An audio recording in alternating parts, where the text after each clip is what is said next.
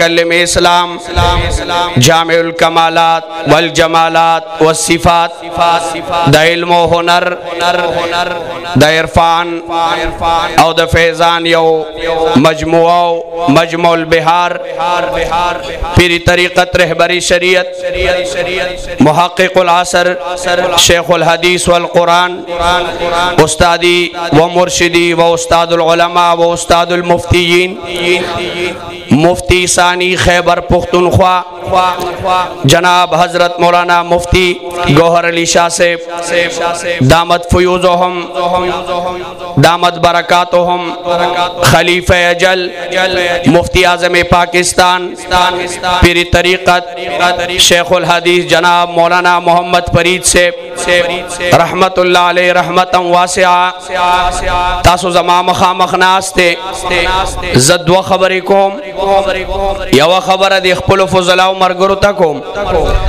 زوم د مفتی صاحب د دغه قافلې یو ادنا طالب العلم او د دغه مکتب یو صغیر طفل د حضرت مفتی صاحب د علمی فیوزات او برکاتنا یو سنس مستفیزم ز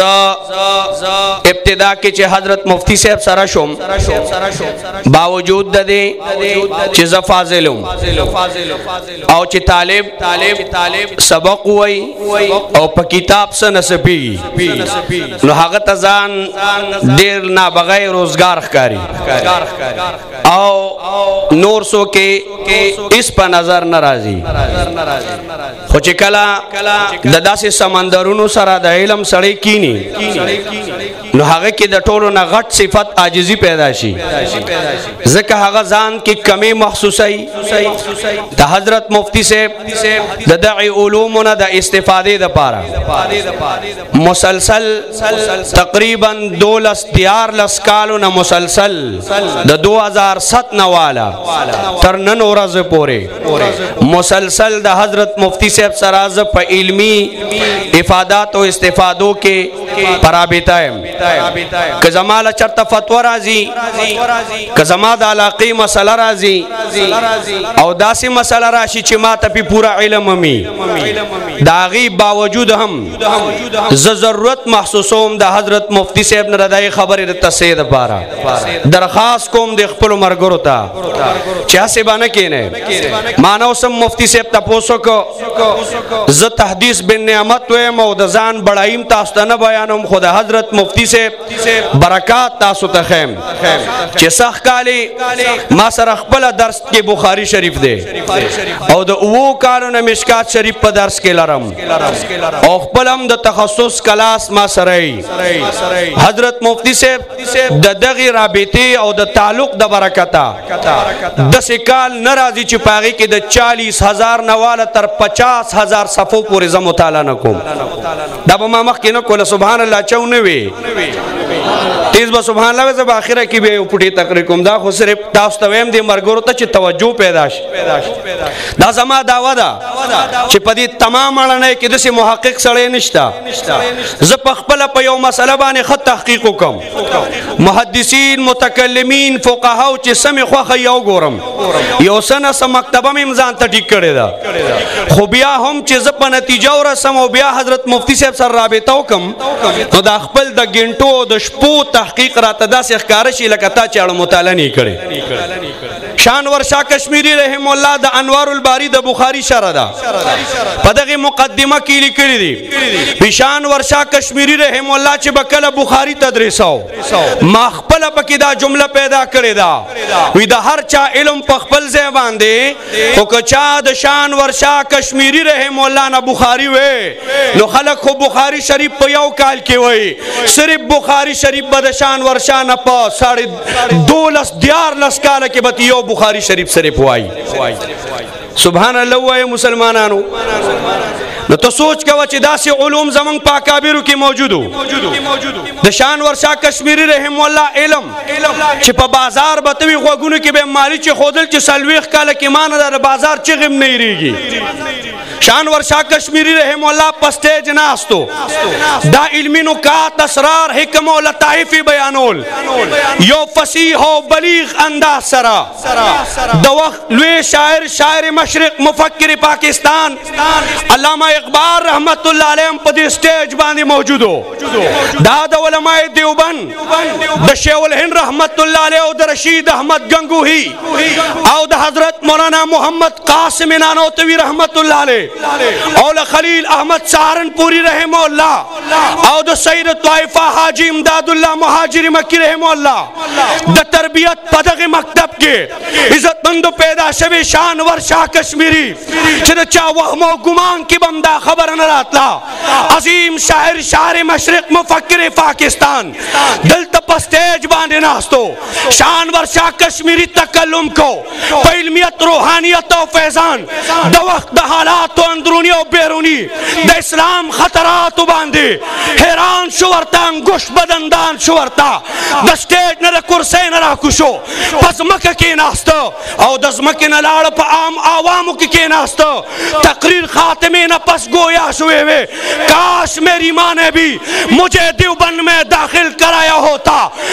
بندہاغ بچیانونا الحمدللہ دوخ ابن حجر دوخ امام سخاوی دوخ امام سیوتی محدثی کبیر امام بخاری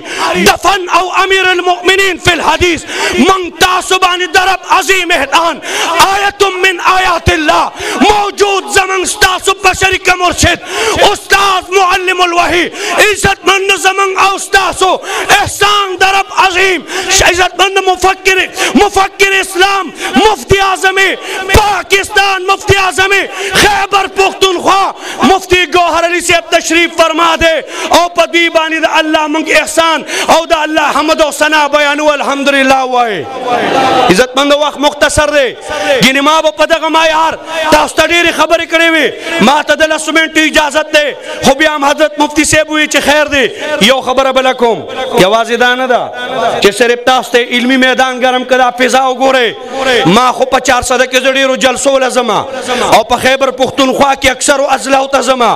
ډیر لوی لوی جلسې وي زما د ختم نبوت د شب قدر جلسه بل ورځ تیر شوې ده تاسو د خلکو ټاټا مارتا وا سمندر لیدلې ده سرونه په نظر باندې راتل خو چې دا کم سټیج نن پتنګي کې لګېدلې ده په تمام خیبر پښتونخوا کې په دامرک کم عمره کې په دامرک کم وخت کې الحمدلله داسې روحاني او علمي ماحول چې هم نه دی جوړ کړی الحمدلله وایي تیز الحمدلله وایي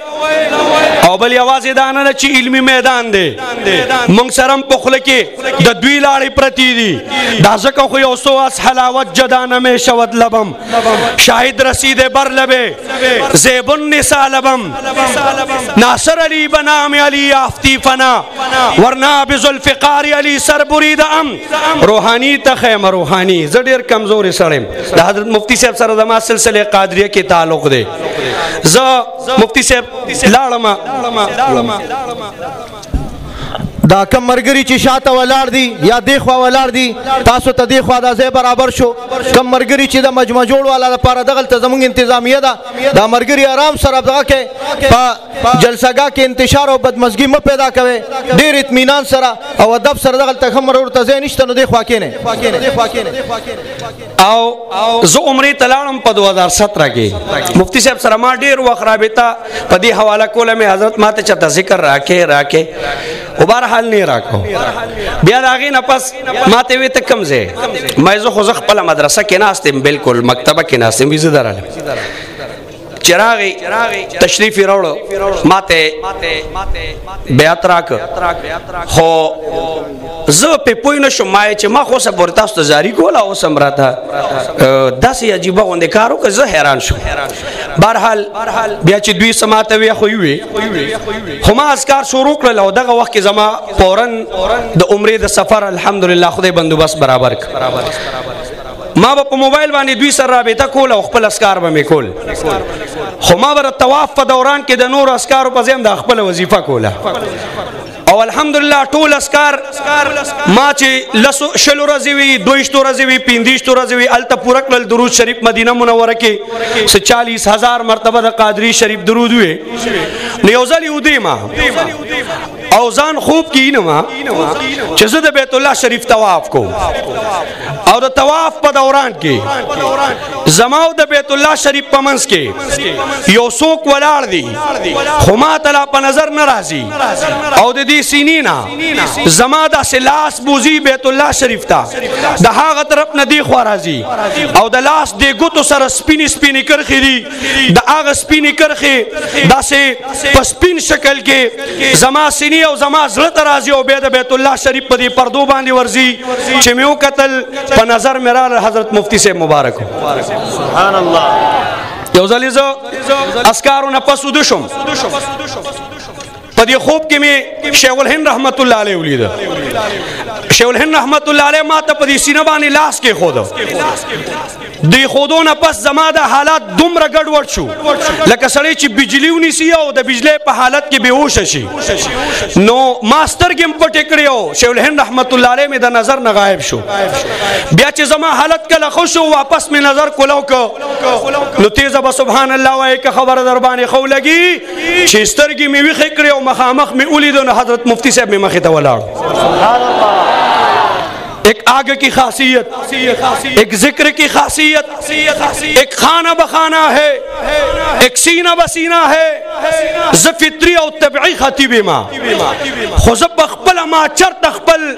بیان ته خنی دی ویلې ما چې په بیان کو سوچ په مې پکاو مې د معیار نه دی خو چې کله مې د حضرت مفتی صاحب سره علمی او روحاني تعلق پیدا شوه دی پر رب یقین وکا چې یو یو یو تقریر او بل بیان د بل بیان نه خپل چې سوچ کوم نو استغفار کوم چې خدای خره چې په کمزورې نه پاتې شوه او بدلون پکې مخصوصوم الحمدلله او زه نعت خوان هم په شروع کې ډېر کله خو زه به چاته نعت خوانې رانه تلم او دا نعت خوانان صاحبان ناس زه ستاسو مرګره ما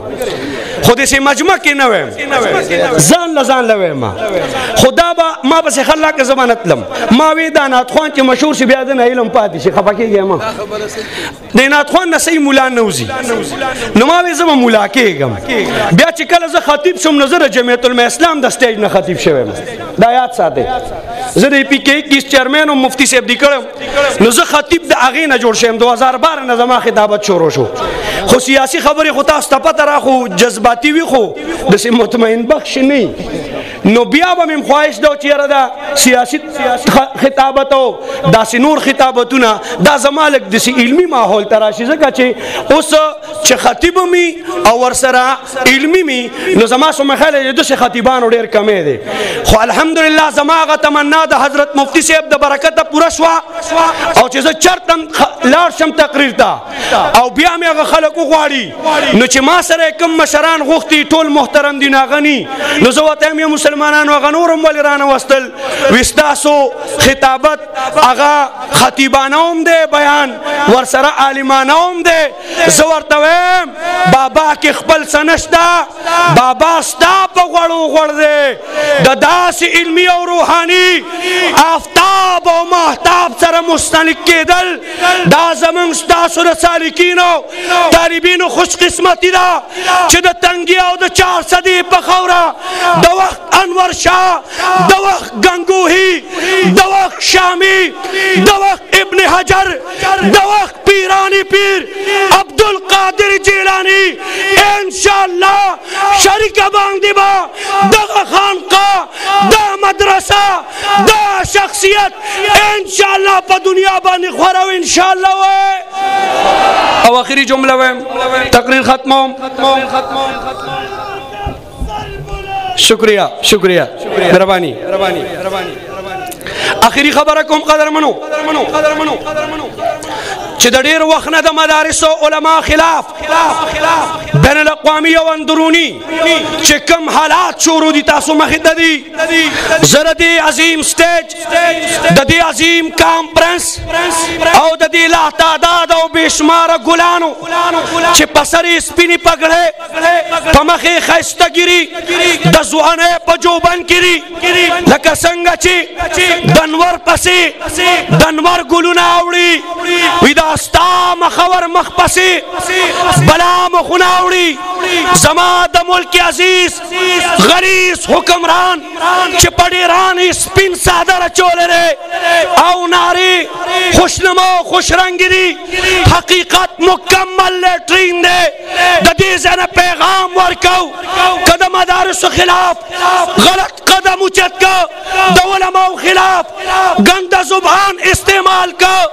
زمون اکابر مسلمانانو د قادیانیت مرزایت خلاف او د سیکولرزم خلاف په دې نړۍ د انقلاب اعلان وکړ واده به دې ځای کې کو لاس به د شو چته وای ناره به وهی چې هغه انقلاب ته به لومبی لبیک لومبی قدم د تنګي او د شب قدر د خاورې نه اوچتېږي انشاءالله